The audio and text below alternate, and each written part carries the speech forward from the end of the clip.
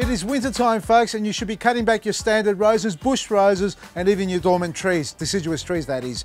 Now, I've got a standard rose here which has just been cut back to an outward facing bud ready for springtime.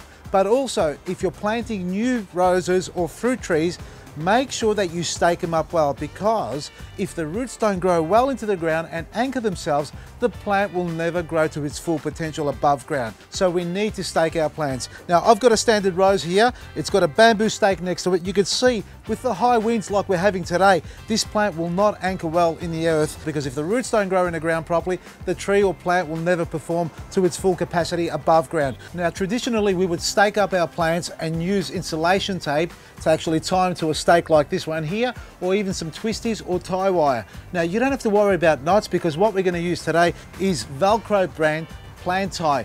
It's reusable, adjustable and very, very secure in high winds because the most important thing here is that you don't want it to become unstuck when the high winds come along. So all you need to do is cut a piece to the desired length, just like this, and wrap it around the trunk and the stake and press firmly and the job's done. As the plant grows, so will the diameter of the trunk. So what you can do is actually loosen it to give it room to grow. And that way, you're guaranteed you'll never have a struggling plant or a loose plant. From me, Vasili, Velcro brand, Maresi.